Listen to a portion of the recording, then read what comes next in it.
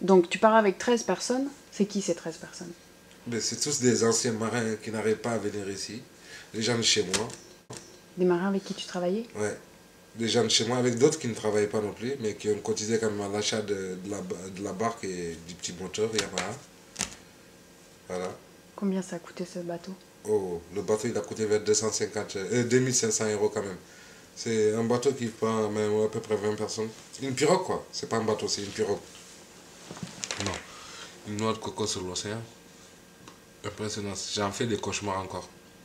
Ben, c'est pas agréable, tu vois une vague de 15 mètres là qui t'arrive, là, toi t'es c'est une coquille là, comme ça, ouh, vous êtes mouillé jusqu'aux os. Et c'est reparti pour toute la nuit. Chaque 5-6 minutes, t'as une vague de- désagréable. Tu dors pas? Dormir? Tu t'es dit que si je tombe ici, il y a des requins, tu vas dormir comment? Ah non, tu dors pas. tu dors pas. Tout ce que tu as comme incantation ou bien tout ce que tu as appris comme euh, de ta religion comme prière, tu vas, tu vas tout balancer par terre. Mais tu vas sortir tout. Tu ne te rends pas compte que tu avais tout ça dans la tête. Mais ça sort fluidement en plus. La peur. Et vous aviez des vivres pour combien de temps? Les biscuits secs qu'on appelle chez nous biscuits sarolais. c'est des biscuits secs, euh, juste salés, c'est pas sucré, plus de l'eau, de l'eau fraîche. Bon, on est tous marins aussi, donc quand c'est calme, on peut pêcher. Du poisson cru, ça se mange aussi très bien. Donc, euh, ça passe quand même. Si on n'est pas envahi par la terreur, en gardant son calme, c'est bon. Il suffit seulement quand seuls deux mecs euh, dans le bateau pètent les plombs, ça, ça contamine. Ça, ça va tout le monde, ça prend tout le monde dans la gorge, quoi. Et ça vous est arrivé ça? Ah non, quand même pas, ça va. Nous, on a travaillé longtemps en mer, donc euh, on s'y connaissait quand même un peu mieux que beaucoup d'autres qu'on retrouve sur les berges des, des plages dans le dernier bateau qui a quitté avec des gens de chez moi, de mon village même, il y a quatre jeunes qui sont morts là-dedans. Quatre jeunes. Ils avaient tous entre 22 et 27 ans. Tous. Pratiquement de la même famille. Le bateau, il a coulé d'un coup. plof. On ne les a jamais retrouvés. Du coup, ça a tendance. euh,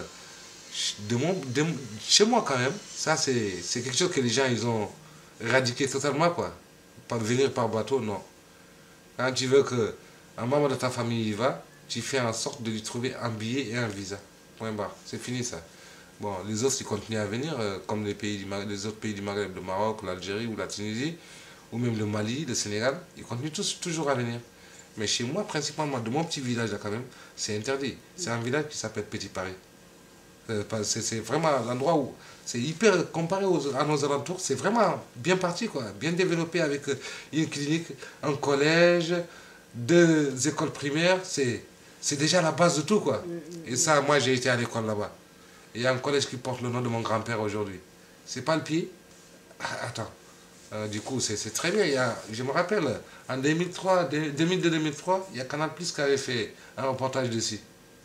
Ils avaient intitulé ça Un petit Paris en Mauritanie.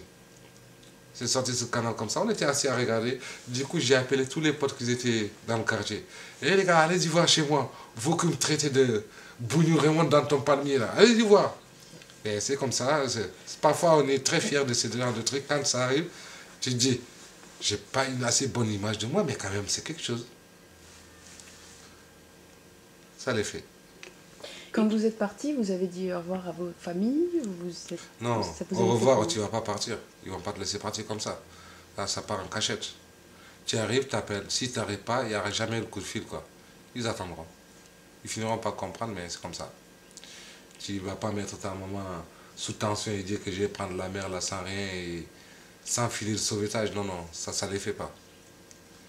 Quand tu pars, tu prends tes responsabilités, tu te casses comme un grand. Ça marche, c'est tout bonus pour toi.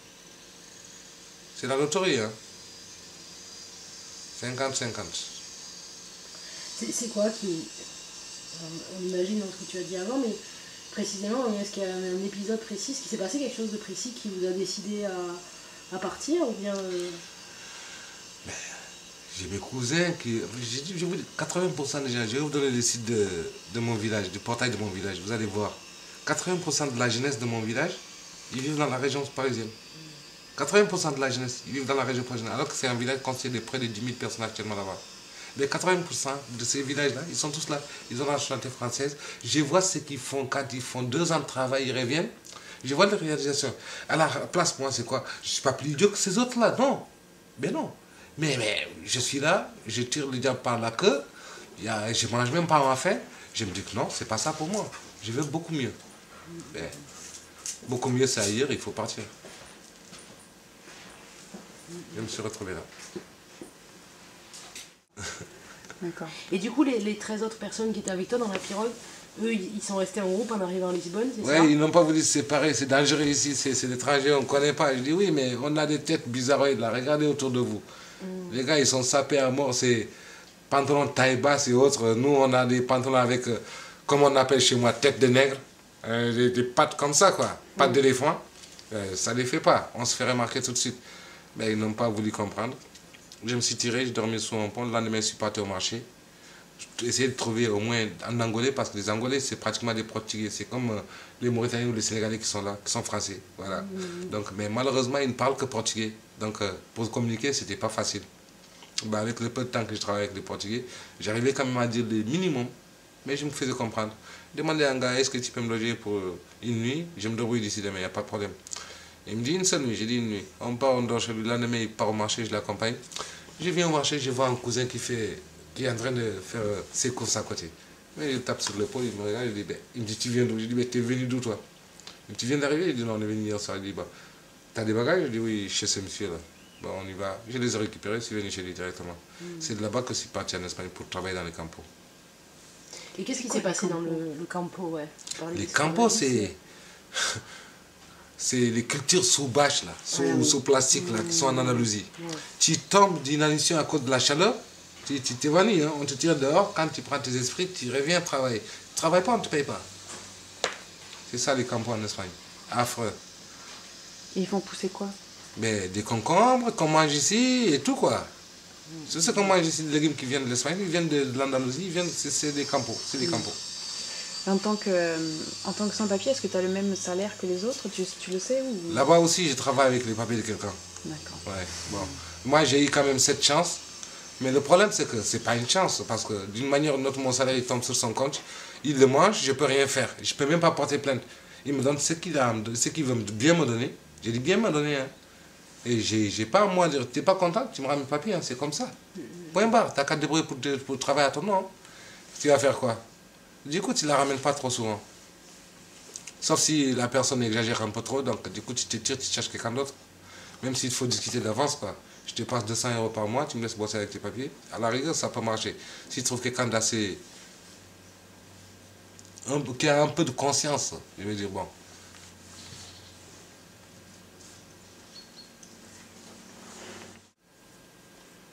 Bon. Et tu disais que tes grands-parents, ils étaient venus en France. C'est ça, il y a Ouais. longtemps. À longtemps, le grand-père, il a fait la Deuxième Guerre mondiale. Ouais. Bon, les oncles, ils sont tous là, ils sont tous la nationalité française. Leurs enfants sont nés ici, ils ont 30 ans, 25, 30 ans. Bon. Mais par contre, mon père, lui, il a été militaire chez lui. Il a fait tout son, tout son service là-bas jusqu'à sa retraite. Il est venu ici se soigner pour le diabète. Après, il est repa- reparti. Donc, c'était juste euh, un truc euh, humanitaire, quoi. Quelqu'un qui est malade, qui vient se soigner pour repartir avec un visa bien défini. Il n'est pas venu pour rester. En plus, il avait une vie là-bas. Du coup, nous, on n'a pas pu profiter de ce que ce qui à tous les gens de mon village, la nationalité française, la, la possibilité de voyager où on veut. Il fallait le chercher par soi-même. Moi, j'ai atterri ici, mon frère, il a atterri à Madrid. Les vies parallèles, mais on essaie d'avancer tous les deux, chacun de son côté. Il est régularisé en Espagne depuis un bon moment maintenant. En fait, c'est le jour même qu'on m'a relâché à Andaï, en me donnant, en demandant à ce que le préfet de la Gironde nous donne la possibilité de me régulariser, que mon frère il a appelé pour me dire que voilà, on m'a donné les papiers en Espagne. J'ai dit Alléluia. C'est bien parti. Alors moi aussi, il y a tel truc qui s'est passé. Bon, il a passé 30 minutes à rigoler quand même. Lorsque j'ai dit qu'on m'a arrêté, on m'a amené en centre de rétention, là, il était mort de rire. Oui, c'est ça, c'est pas drôle. Là, je laisse ça derrière moi. J'essaie de m'en détacher, quoi. Même si parfois ça m'envahit comme si rien n'avait changé. Parce que je réalise pas encore. 11 piges, ça fait long. J'ai ma fille qui a grandi derrière moi, qui est maman aujourd'hui. Je ne connais pas mon, grand- mon petit-fils, rien. Comme quoi, j'aurais beaucoup perdu dans l'affaire, c'est vrai. Mais